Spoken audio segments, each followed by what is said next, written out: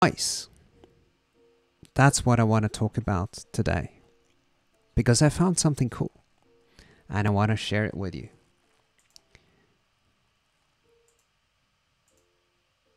So let's see here. Uh, let's get the video flowing. There we go. Okay. So, spice. And let me go full screen. So, if you ever sort of looked into analog design or how we do how we do circuit design, then you probably have encountered the name SPICE. But you might not know what it is. So it's it's really a numerical mathematics engine. And there's a certain rules for how you write the resistors, capacitors, inductors, transistors, and the circuit components into a parsable format that the SPICE thing can read and then turn it into a basically a big matrix of equations that describes the um, conductances between every single node.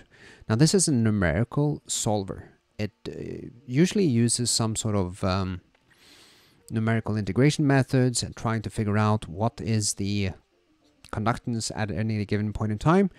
But I'm not going to go deep into the actual inner workings of Spice because I don't actually know them. I've never written a Spice program, but I've used a Spice program for the last, oh, 25 years, I guess. It was started way before that in 1973 by a guy called Nagel and uh, Pederson, and it's still used today. If we look at today, there is Cadence Spectre, there is Siemens Eldo, there is Synopsys HSpice, and there's a bunch of others, commercial ones. You got some free ones, you got LT Spice, you got AIM Spice. It was actually written by a professor at NTNU. And then we have NG Spice, which in my opinion is the one you should choose if you want something that is open source. Now, all of these programs have pretty much exactly the same usage model. You call the Spice program and you give it a test bench. That test bench is written in, well, the same language, the Spice language, that it was that was defined a long, long time ago. And even, well, it doesn't really matter whether you're using the um, free ones like AimSpice or ngSpice, or indeed the very expensive commercial ones like Spectre, that, well, it's a bit smaller on the screen here, but it's exactly the same usage model. They will actually also usually understand the same type of spice format. Sometimes, though, there are flavors um, that is, well, call it dialects of spice that is not understood between the different ones. So the reason we use these mathematical engines is that any analog circuit that we want to predict how it's going to work when we get it back from the foundry, we have to use the mathematical models. It's not possible anymore to use hand calculations. The physics of the transistors is simply too complicated. Wow, I got sun today. Uh, it's just too complicated we have to use these mathematical models and we have to simulate. Not only that, we know that we, when we make a transistor or a resistor or a capacitor or diode or bipolar or whatever on a chip, they will vary. You will never be able to make the same transistor twice. There will be slight modifications because they're so small. And there'll be changes as you make a transistor in the middle of the wafer and at the edges of the wafer. So that also means that we have to simulate over what we usually call corners. So some transistors will be slow, some will be fast, some will be fast PMOS, slow NMOS, and then vice versa. And we have to check over all those corners. Same for resistors. We resistors can be expected to vary maybe plus minus 10 to 20%, and same for capacitors. So we have to check that if we put a resistor in the circuit still work when you have plus minus 20%. Now you may ask how in well, I'll try not to swear too much, but how can you actually design something when you have plus minus 20% variation?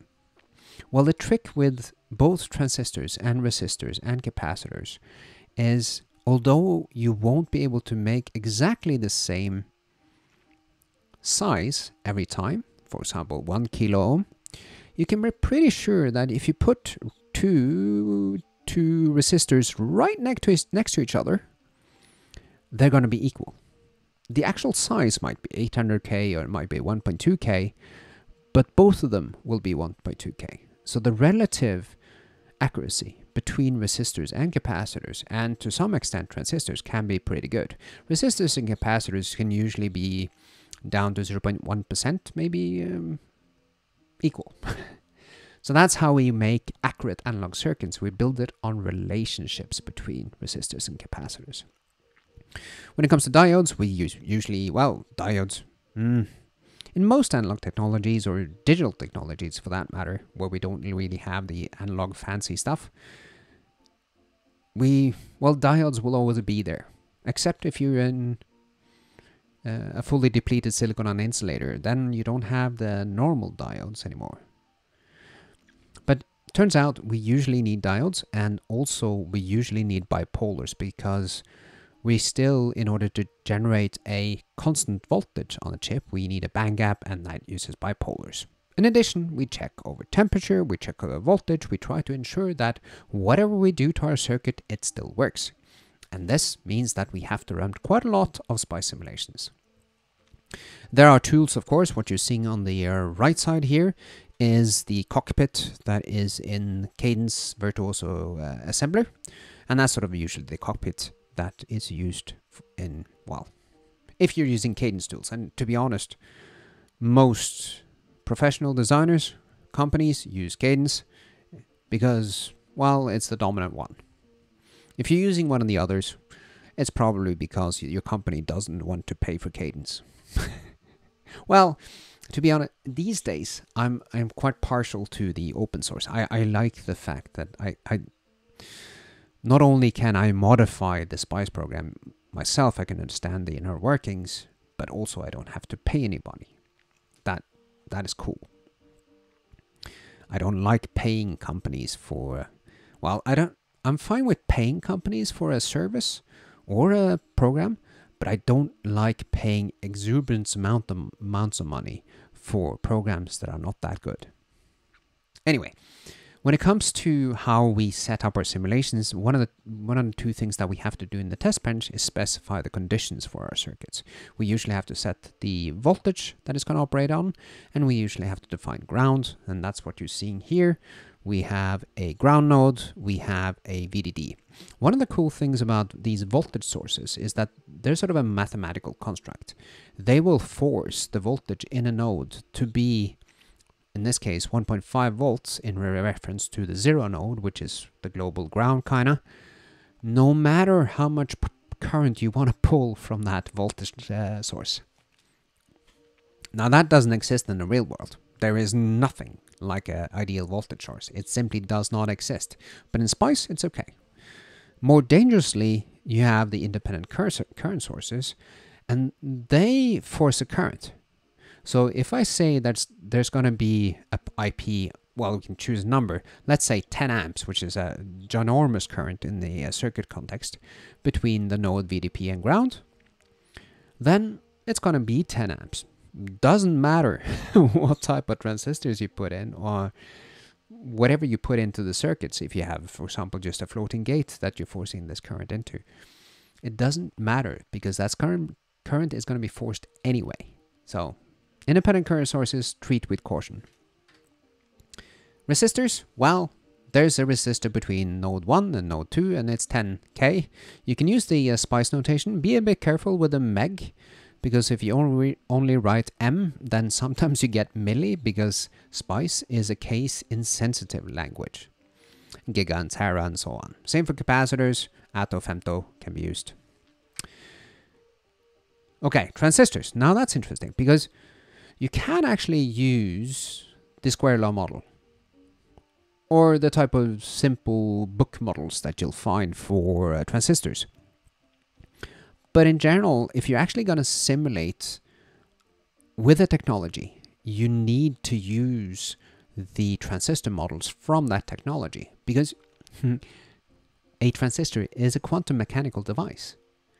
It depends, so that the operation and the currents and all the specifics of the transistors actually depend on the exact physics of that particular technology.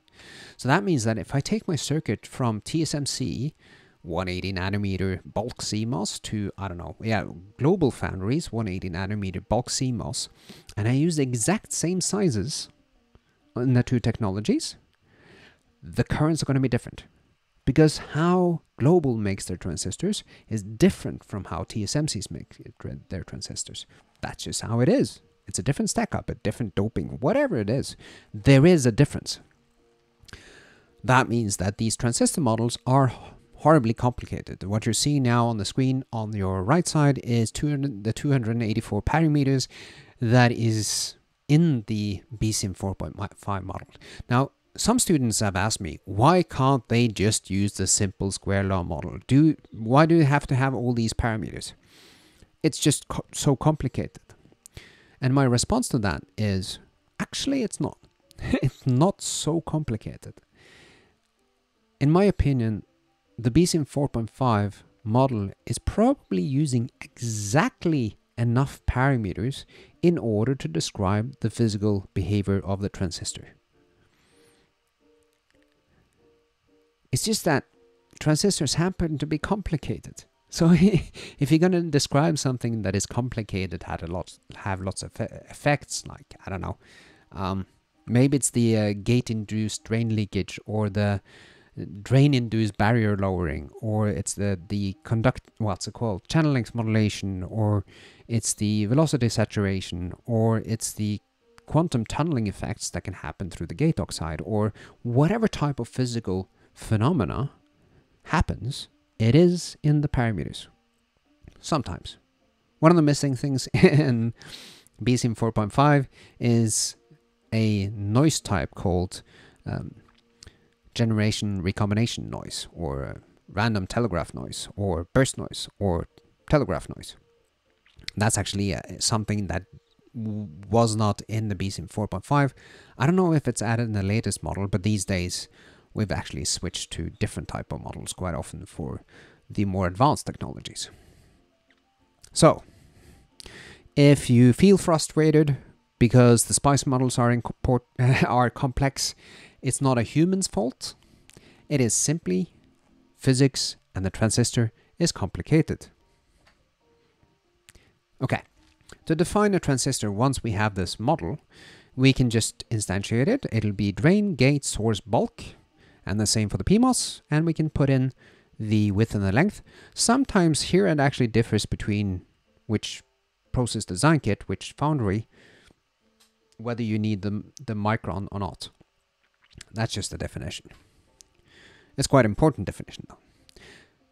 What I would recommend is if you want to get started with transistors and simulate those today, use the Skywater PDK. It's fully open source. So if I go here, let's try to make it bigger. So you can download the full PDK and I guess we should be able to find simulation, well, there yeah, somewhere in here ought to do. that's quite a lot that's not done. But um, you'll find some description of the SPICE models in there. So that's a place to start.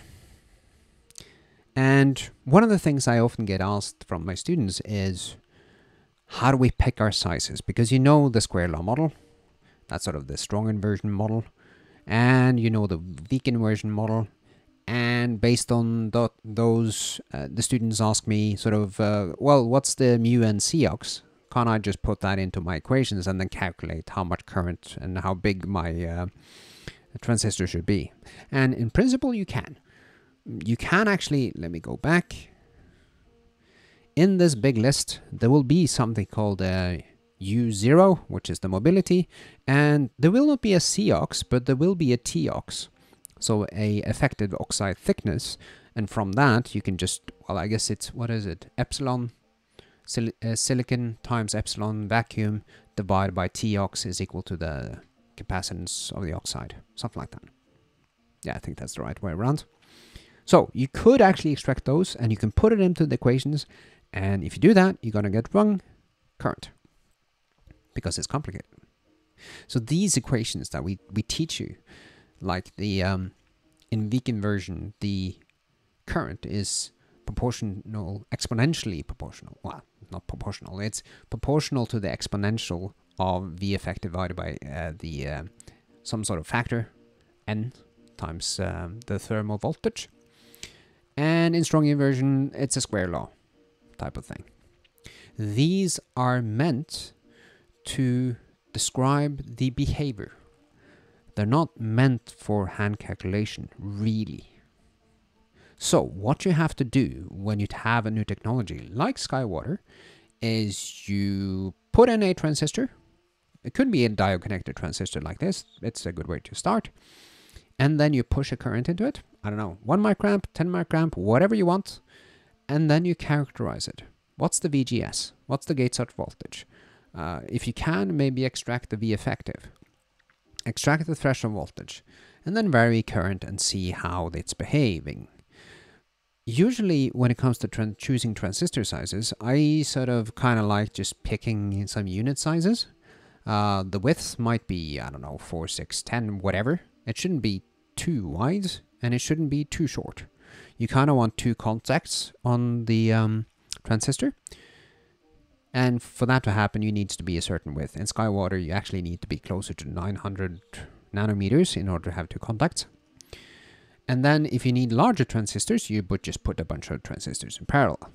You can also put transistors in series to make them kind of longer.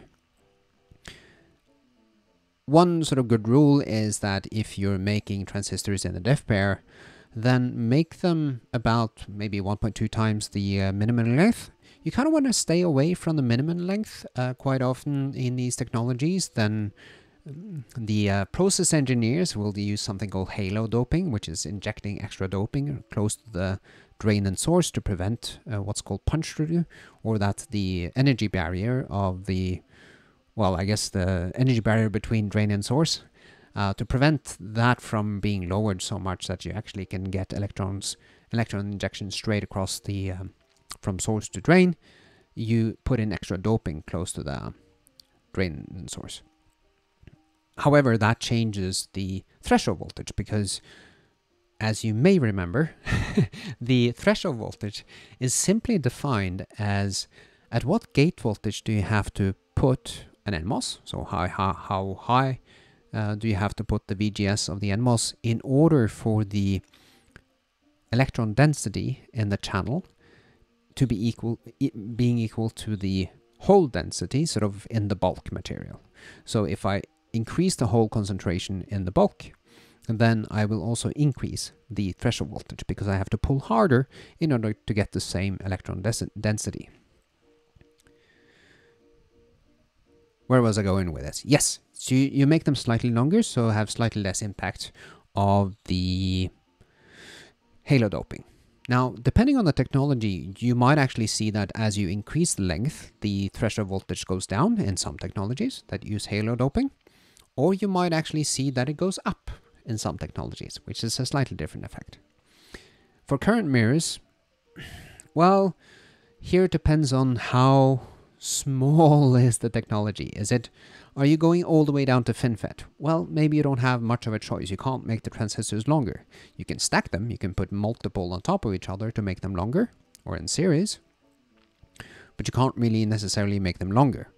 Now, in good old 130 nanometer Skywater, it's totally fine to make the transistors longer. And I would say for current mirrors, you kind of want to go four times the minimum and maybe even above that if you want to. a good tip is actually to have a look at the GDS that the foundry used to extract the SPICE model, because those transistors will be probably the best match to uh, the SPICE models that you're using. And that's actually what you're looking for.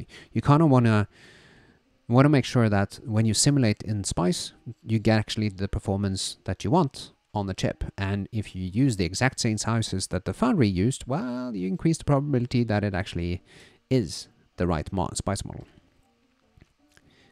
One of the strategies that I know a few designers like is to use GMID, including myself. That's sort of my go-to kind of thing, because we know that in weak inversion, the transconductance divided by the drain current is roughly given by 1 over n times the uh, thermal voltage. Now, this turns out to be around 25, because n is usually like 1.5.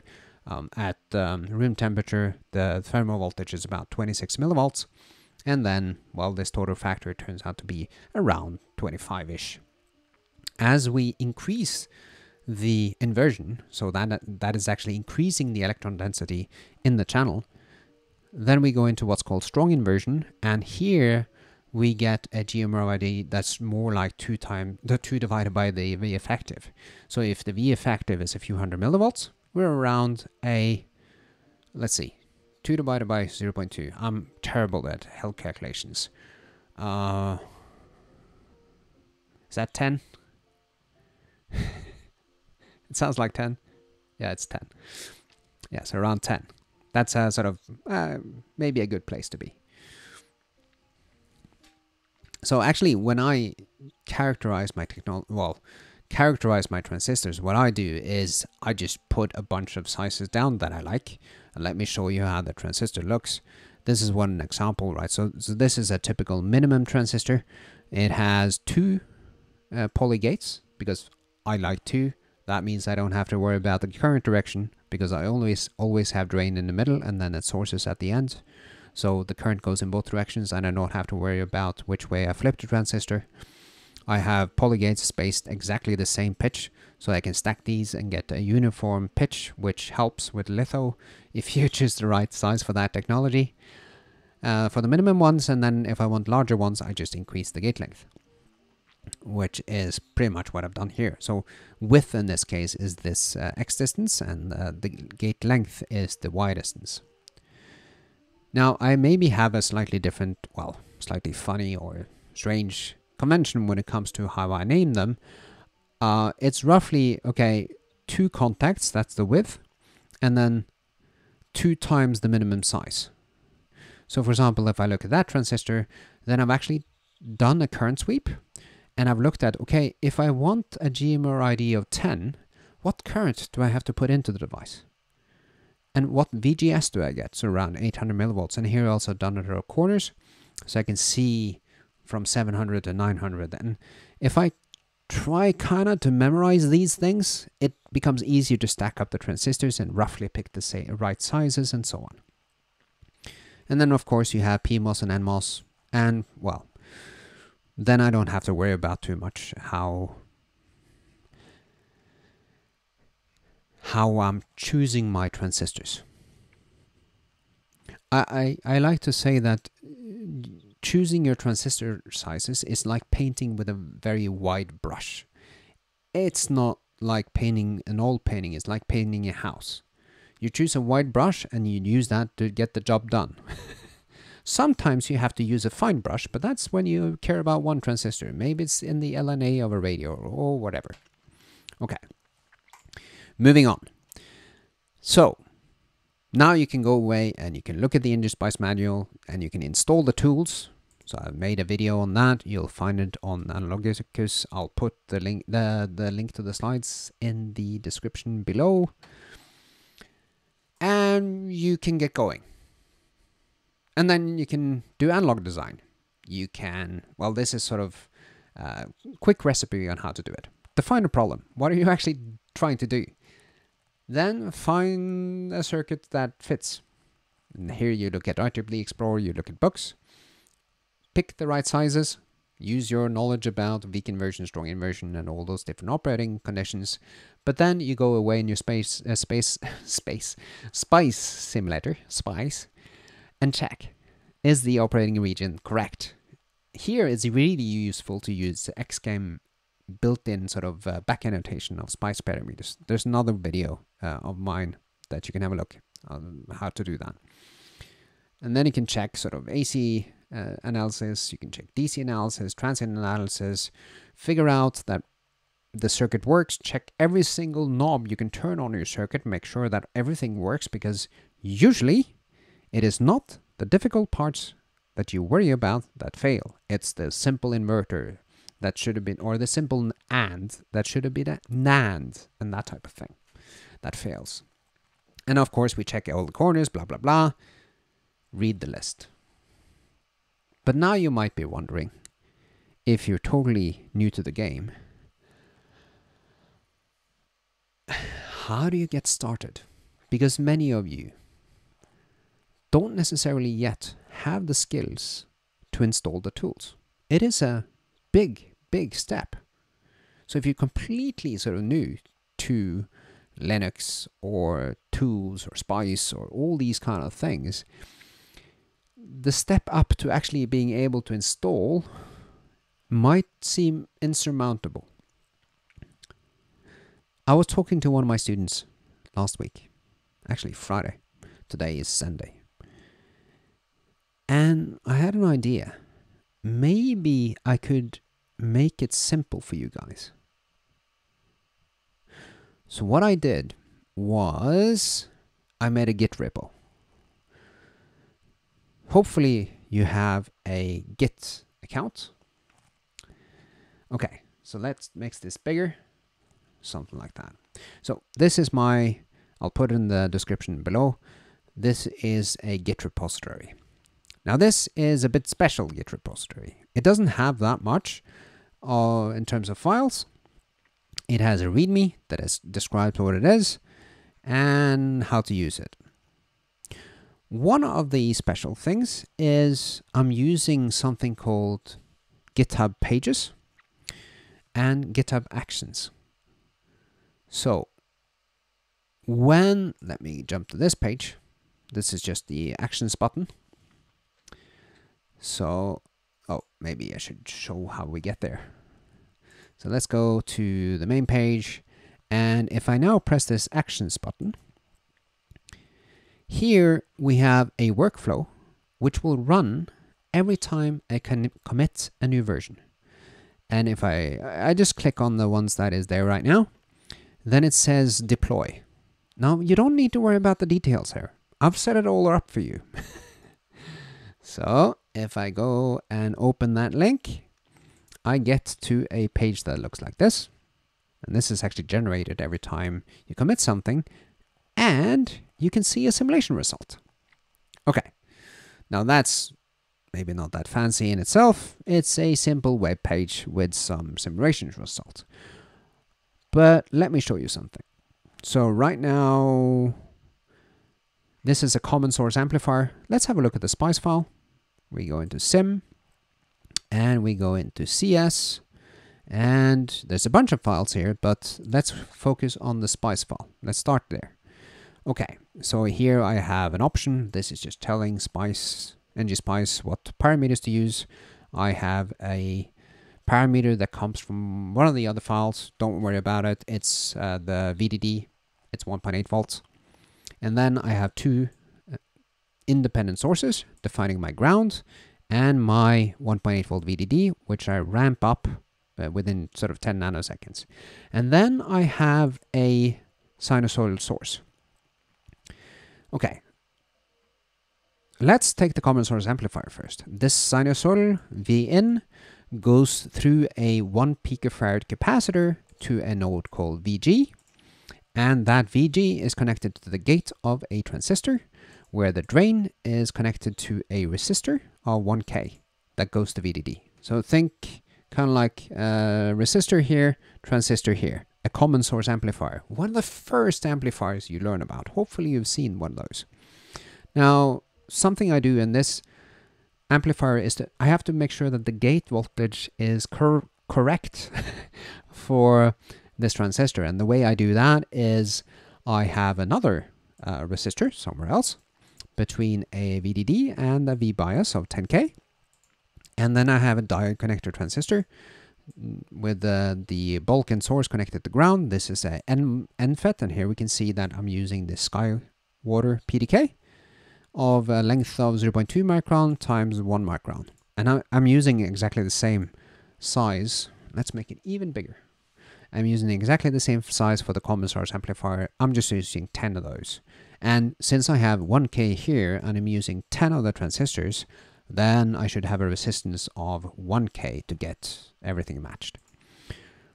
Now from the V-bias node to the gate node, I'm just using a high ohmic resistor. This is, ah, is this 10 meg or 10 milli?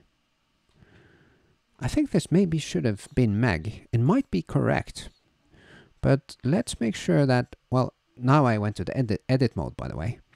Let's make sure that this is meg. And while, while we're at it, uh, if we're looking at this uh, plot, what we're seeing is the VG. So that's like uh, 0.07 to 0.05 and uh, the V out, which is higher. And we can see the frequency is pretty high. So let's actually reduce the frequency to 1 gig. Okay, so all I've done now is use my browser. I have edited a text file online. You can do this on your phone.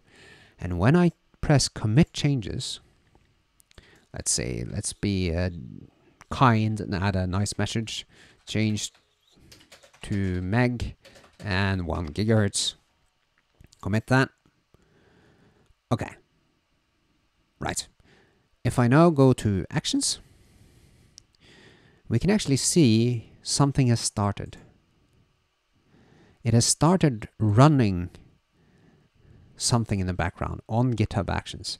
What it's actually doing here now is downloading one of my images from like a virtual um, Linux machine from Docker, um, what's it called?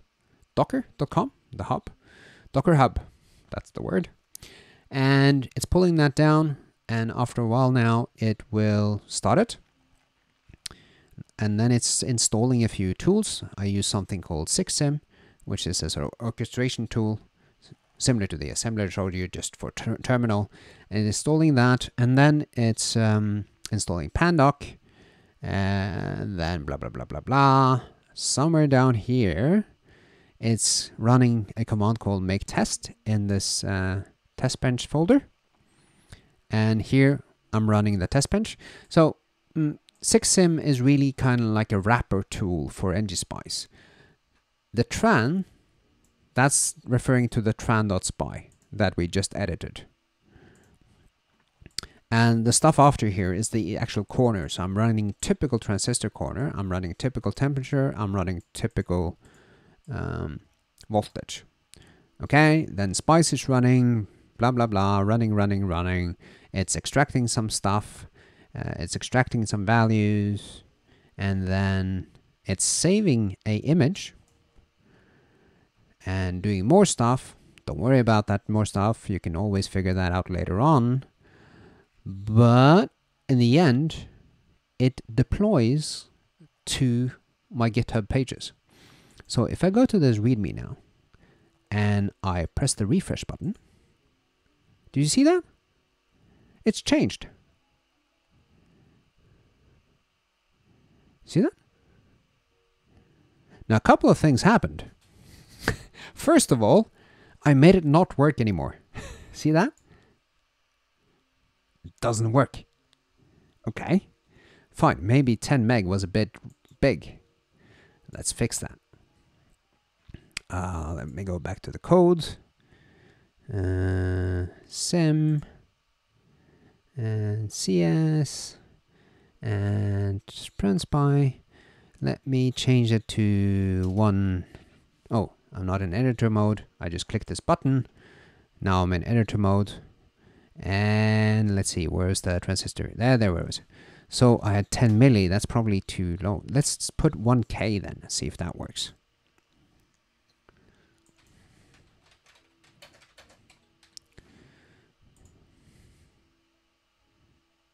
Okay, now, the bad thing about this is, well, how did long to run? Uh, let's see. We can see the runtime here. It takes about one minute. Okay, so I can change the SPI file and it'll run, but it takes a minute. Now, if you actually install all the tools locally, of course, then it doesn't take a minute. You can do this in uh, no time. But actually, while it's running now, I'll just pause. and we'll come back shortly. Okay, we're back. And now I've updated uh, the, well, I clicked the refresh button and now we can see we have our input signal again and we have our output signal. And now it seems to work. It's back to where it should be, about 10 dB gain. Right, okay.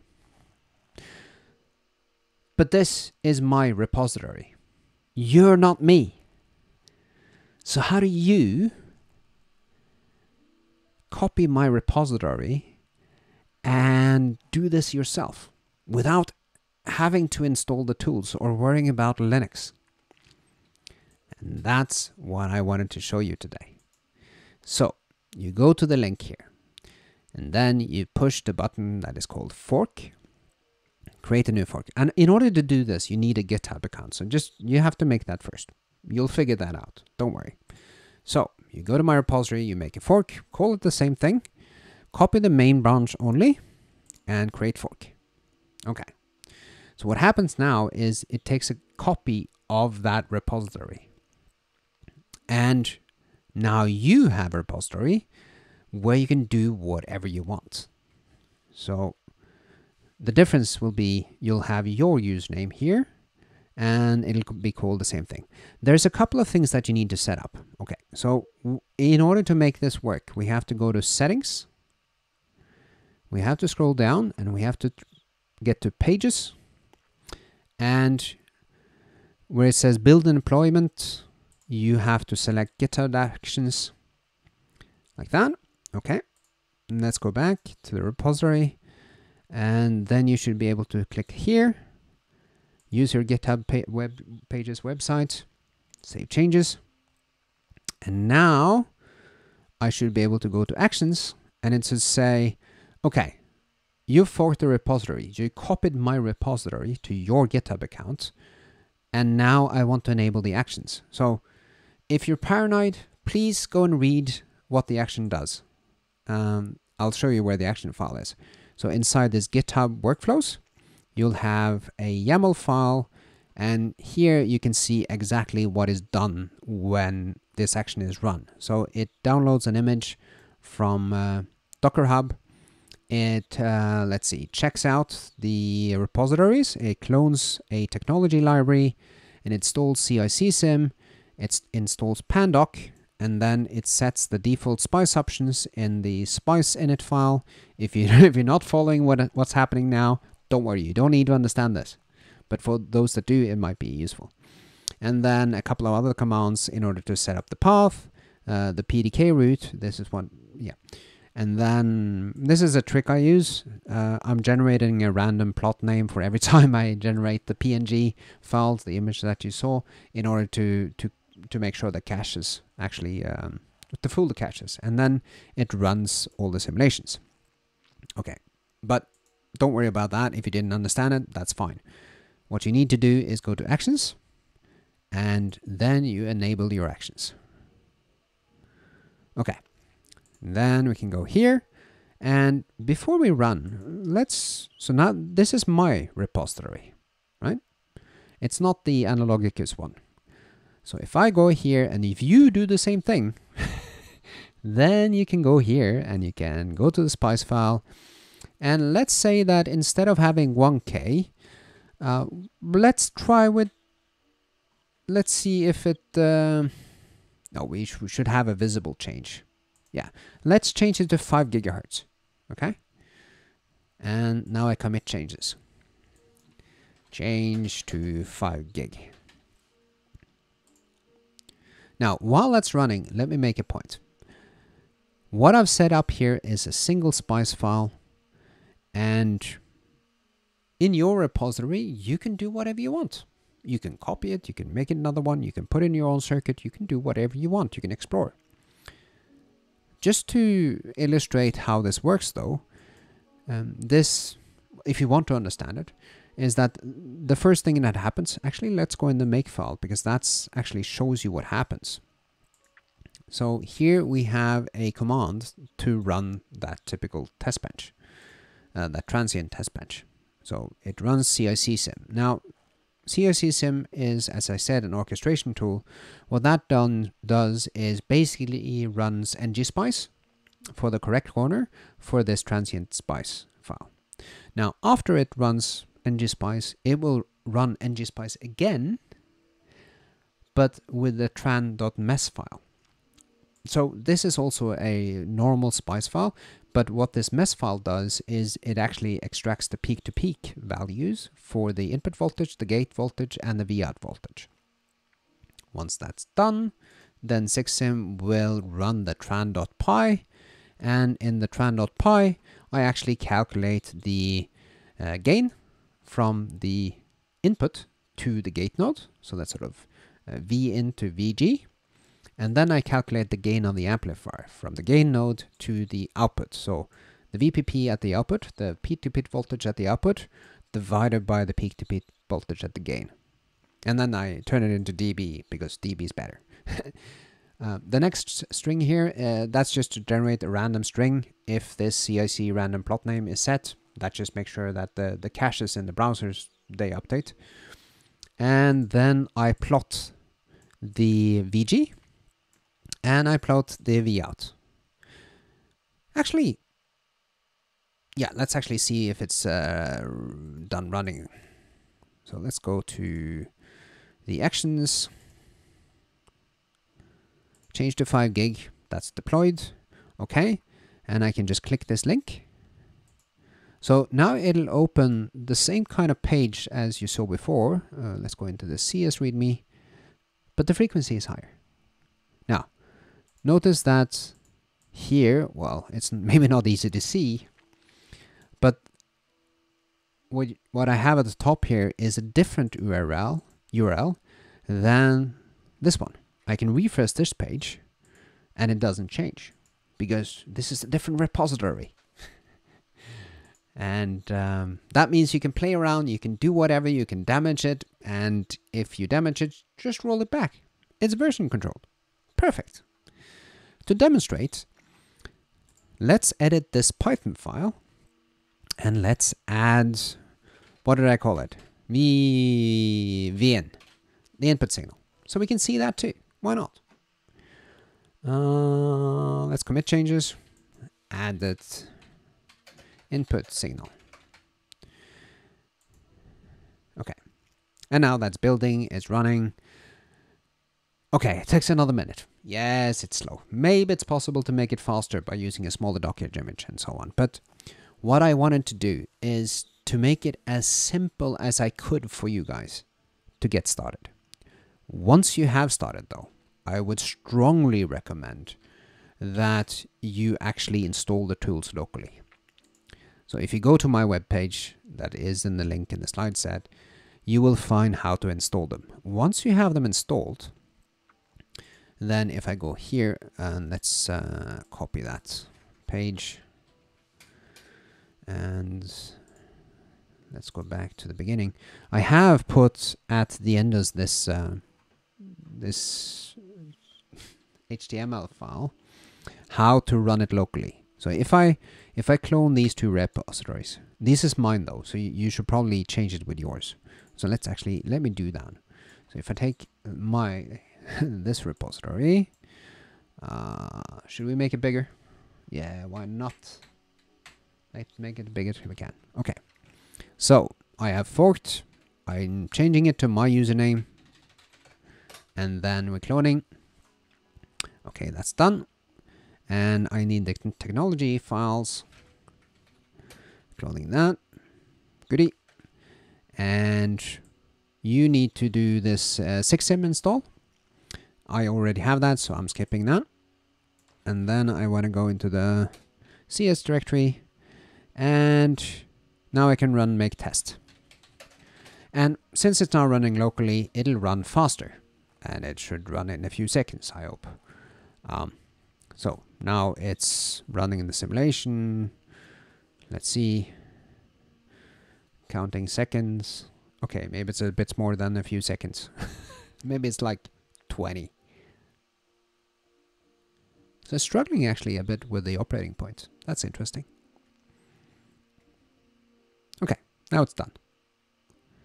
And now it's generating the output file, blah, blah, blah. But since I'm locally now, I don't need to look at that HTML file. I could if I want to. It actually is here. It is there if you wanted to look at that. But since I'm running locally, I can actually look at the output with cicsim. Okay. So let's see. That's the output signal. Uh, that's VG. And where's VN? Okay, so that's what we should see now online, right? VN is actually around zero, but the other ones are up there. So let's go online and see if it's built. Uh, this is my original. This is mine. Let's go to the simulations and let's reload.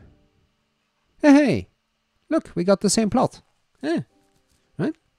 So that means you can, you can get started, right? You can get started understanding Spice using the online repositories. Once you feel comfortable and you have actually been able to install the tools and the PDK and all the uh, bells and whistles, then you can run it locally. It's faster. But yeah, hopefully you'll find this useful. If not, well, hopefully, hopefully you've enjoyed the video. Have a fantastic day.